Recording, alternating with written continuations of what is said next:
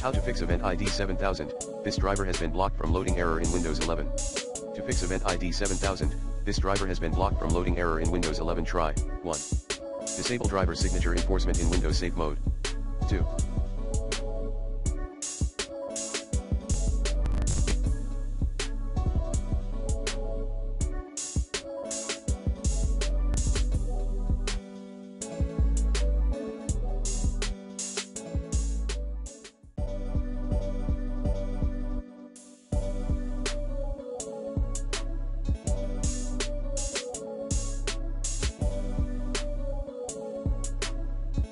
Make sure you're signed into an admin account.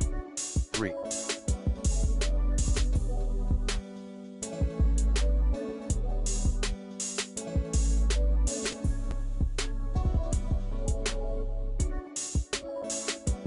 Add an exception in your security app or disable antivirus.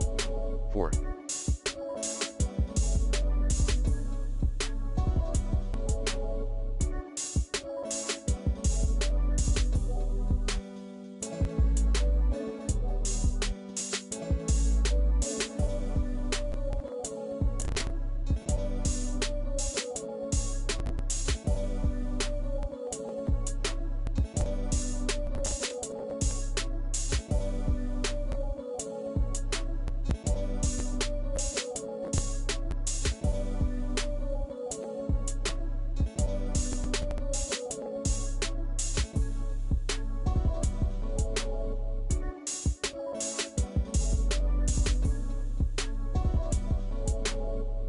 Install slash run the program in Windows Clean Boot.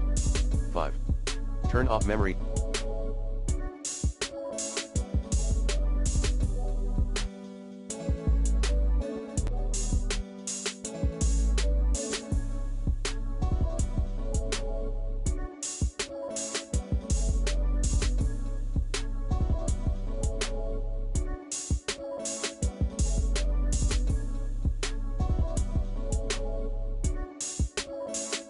Integrity in Windows Defender Security Center.